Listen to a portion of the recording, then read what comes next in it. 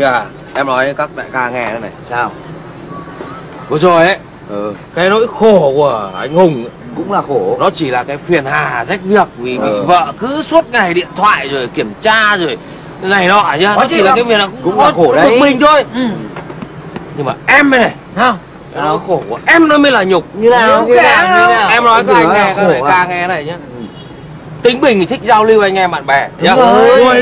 Uống giao lưu cái gì đâu giao tiếp À. người phải giao tiếp bình Thế mà thường sau cái khi mình về rồi phát bắt đầu có tí hơi có tí mùi mùi ra, ừ. ra mùi rau rau rau rau Thế là nó bắt đầu nó cứ truy nó bảo Ông đi uống ở đâu Ờ. à, Mà tôi không lạ gì cái kiểu đàn ông các ông đi uống xong là kiểu gì cũng lại phát sinh Ờ, vắt cát cam. ho rồi lại Vắt cam. này nọ Mà mình say về mình chỉ muốn ngủ một giấc cho nó yên rồi sáng mai còn đi làm Mà thôi. nó cứ sai đâu? cổ lên nó tra hỏi Thế thì đau quá Đau. Em thế- nói buồn, Rồi. đau Đấy em mới là khổ Hóa ra như tôi này Chưa vợ Đâm ra lại sướng Đúng Ông là sướng nhất Anh sướng ấy Sướng chính ông sướng Em nói là anh sướng ấy không phải gì Ông là quá sướng không đấy. có cái gì vì chả có vợ. ông là sướng nhất ở trong cái bàn này đúng không Ừ. ông phải khao bọn tôi hôm nay Tôi khao Vô tư khao. Rồi Tôi khao khao. Vô tư Tôi khao. Rồi này, cái này.